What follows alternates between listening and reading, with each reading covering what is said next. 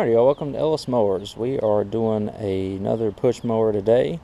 Uh, this one, give y'all a little background, I got for free.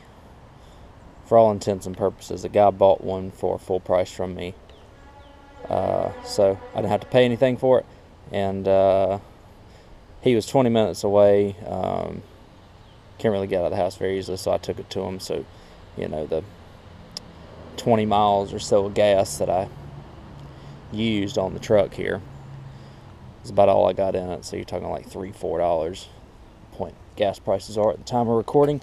Um, bale cable works on it. It is a Murray three and a half horsepower classic. And as you can see, he's done some interesting things with the springs and whatnot on it, so I will have to worry, do some carb springs and stuff to it. Um, has compression, which is good air air filter is atrocious, which I would kind of guess that it was. Yeah, you can see the spring setup that he had was a horrible, um, and it's also the wrong way. So we're gonna right it now. It's not really any. I think I got some of these lying around somewhere. Um, to make work because as y'all know these springs are nowhere near the way that they're supposed to be with the way that one one one of the springs supposed to go here. And then the other one is kind of like a return spring. It just um, you know just does the return linkage there. Um, so obviously this thing is not anywhere near where it needs to be uh, in terms of that. Um, what else do we have here? Let's look at the blade while we're at it.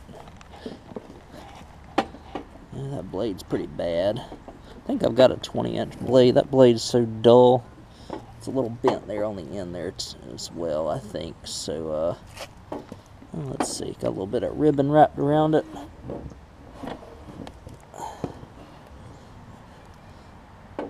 We'll see if I can sharpen it. Uh, actually, may not be bent. We'll see what we'll see how bad it vibrates when it runs, and I might sharpen it. Again, this lawnmower is probably no more than a forty dollar mower, so um, in terms of the standards of it running and cutting, basically it just needs to run and cut grass. Because if somebody's cutting a perfectly manicured lawn with it, look at that oil. Oh my goodness. Then uh, they need better equipment anyways to cut a manicured lawn with. Um, these are good mowers overall though. I'm really, like the pull rope's in good condition. So I don't have to do anything with the pull rope running gear. Stuff like that, which is nice. Um, the one thing that's going to kind of fiddle with me though is that the mounting point on the actual engine over here for the bolt. Ooh, that gas looks bad too. Um, the gas tank's not gas tank is um, doesn't have any holes in it, so that's good. Um, but the mounting point for this bolt, this bolt on the engine for the gas tank is been stripped, and so I'm gonna have to improvise on that front. I don't know how I'm quite gonna do that yet, but we'll we'll get into it. Um, really want to turn this around in a couple of hours. I think I've got all the parts necessary to do so. Diaphragm, primer bulb, air filter. And then I'll just figure out what I've got to do with that. So, uh, and I'll look at the springs. I think I've got a spring or two for these carburetors. Um, if not, I will find some springs that work. Obviously, that does not. I don't know. Oh, the things people do to get mowers running around here sometimes is just crazy. Um, out of curiosity, let me grab a little bit of starting fluid. I am going to take that tank off. Starting fluid.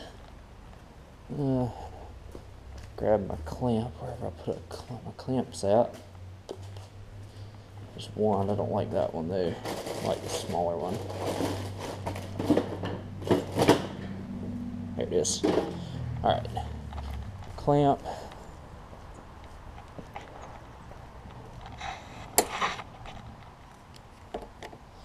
That way I can set y'all down so that you can watch this.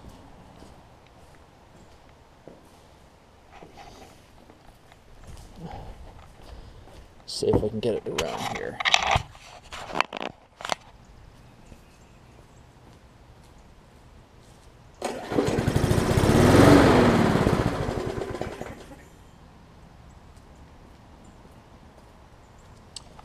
Easy enough, it does run. So let me take the one remaining bolt off of the gas tank here, the 3 eighths, and that will allow me to remove the gas tank. We'll see and make sure that the intake tube and all that's still in good shape, and uh, we'll address this whole situation with the throttle and all that, because obviously this thing's not going to rev up and the governor's not going to work correctly. I will um, probably just wash out the gas tank because the gas tank, I don't know if y'all can see how bad that gas is in there, but it is pretty bad. There you go. Get that washed out and then I'll rejoin y'all after I do all that. And just look at how bad inside this carb diaphragm was. Again, you just take the five screws off of the carb there and that gets you into the diaphragm. It is pretty bad. And then the uh, you know all this right here too with the fuel filter or the um, pickup screen and all that we'll make sure that we blow that out and make sure that it's working correctly. Including the little screen here. Uh, we'll get it we'll get it working don't worry. These uh these motors are so simple to get back going again. Um, so let me wash this out. Um, let's check this tube is good still. That's a good that's a good sign. I don't know if I'm going to be able to get feet off a bolt back there or a nut back there behind the broken mounting point, mounting post on this mower, but uh, we will improvise something that will work. Um, again, we'll just see what we got. Look in my arsenal figure out what we're going to do. Um, so let me go ahead and wash out that gas tank and uh, continue on. Alright, so a little bit of water. I got the tank in much better shape. I might hit it with some carb cleaner just real quick. Um, again, this uh, carburetor, some carb cleaner. Uh, I'm going to make this spring work for the um, governor spring and then I'm going to try and find a good throttle spring I don't know. I've got a little box of parts here um, and I also have this carb kit. It's one of them Chinese carb kits. They're, those are hit or miss so we'll see if that works on it. Um, I'll throw some carb cleaning into this. I'll go ahead and put everything back together again. Gasket first. And then or um, diaphragm first, gasket second. At least according, I always forget, but I think that's the way it goes, so that it seals right down here on the little pickup area. And that's the way that it came off, and I know it was running when it came off. So, uh, throw a little carb cleaner, um, get everything back together. I'll show you what I did with the springs and stuff before we start it up. Alright, so let me show you what I've come up with. I found another spring that um, looks like it will do the job for the throttle. And then um, another, and then the existing spring that was the original governor, governor spring, um, I just kind of bent out a little bit of it and um, put it back on where it was where it was supposed to be. I think it's going to run a little on the fast side to start with so I might push, I might adjust this throttle in a little bit. We'll see. Um, oh, and also the gas tank, I was able to put find a washer, find a longer bolt, and I was able to bolt it in. So it should be good now. It's got plenty of surface area that is bonding in the back. Again, it's got the bolt in the front here that I actually haven't tightened up yet. So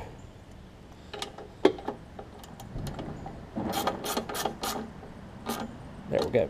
That thing should be firmly attached now. Again, we're talking we're just trying to get this thing to work and to work reliably. We're not trying to make it look pretty. or do anything pretty, to be honest with you. Just want it working. Put list it for 40 bucks. Somebody have a good, reliable mower, and uh, you know, hopefully cut with it for a couple years, if not longer. These classic engines will run forever as long as you make sure they don't run out of oil. I mean, you can see how black the oil was when I checked it earlier. Um, so, let me do this. I'll make sure it has oil in it, and we're going to test it out and make sure that it's running running okay. And then we'll proceed to service it and do all the good stuff with it, like the oil change and the blade sharpen. So let me get it off of the um,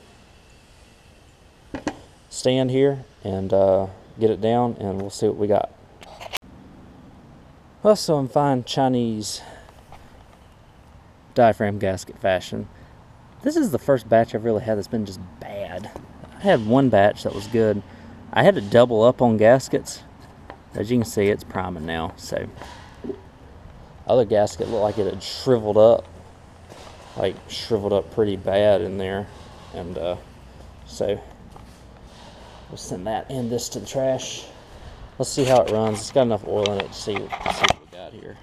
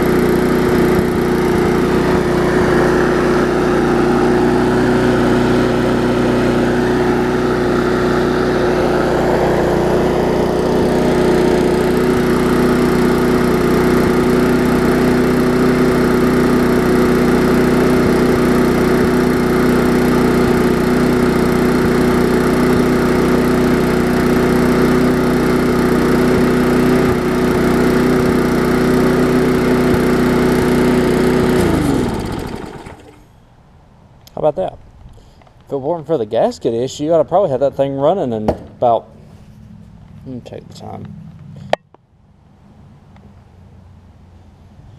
I've probably been working on it in about an hour, even with the gasket stuff. Probably been about 40 minutes if I, 30 to 40 minutes if I hadn't.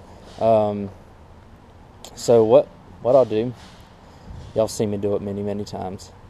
Um, air filter, blade sharpen, oil change, wash it. I'll give you all a final look on this. Again, just a little bit of maintenance on something that didn't look very um, pleasing to the eye when we originally started is going to turn out and make us a little bit of money. So, uh, you know, it's 40 to $50. Take it, you know. Don't have any money in it. Or less than five bucks in it, probably. And so, uh, yeah, I'll do all that, and we'll uh, do a final look and start for you. All right, here is the uh, end result of this Murray 3.5 Classic. Nice little bath, helps it out a lot, doesn't it? Um, again, this one just needed, I just need to fix the gas tank mount to where it won't, where it will be firm, and it is. Do the primer bulb, air filter, carb diaphragm, sharpened blade, new oil.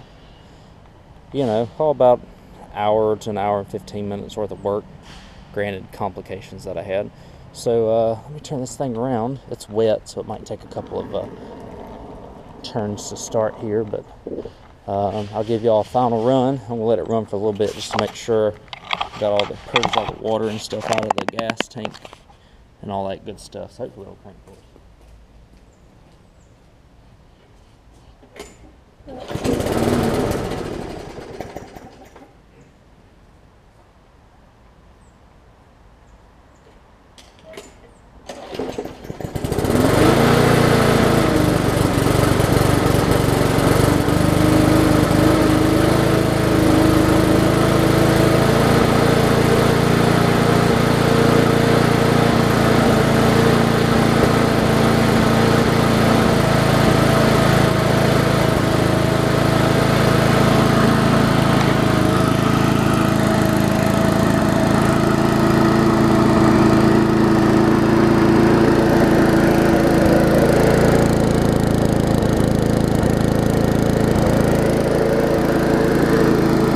It'll smooth out a little bit once it gets some run time.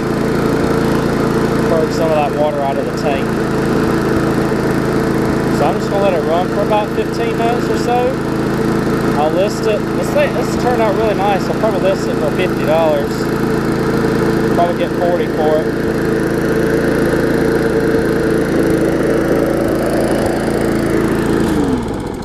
But I'll end this video with it not running just so y'all can hear me. Um, yeah, everybody that every time I post one of these, everybody says that they just absolutely love them. Simple little mowers, easy to work on, run forever. Um, they just don't bring any money. They shouldn't bring any money. Hey, I got a little spider rolling around, so I gotta purge them out of the system there. But uh, yeah, it turned out turned out nicer than I expected, and it didn't take long at all to get going. So I appreciate y'all watching. If y'all want to find real-time updates of what I am working on, you can catch me over at Ellis Mowers 09 on Instagram and Facebook. On to the next project. Catch y'all there.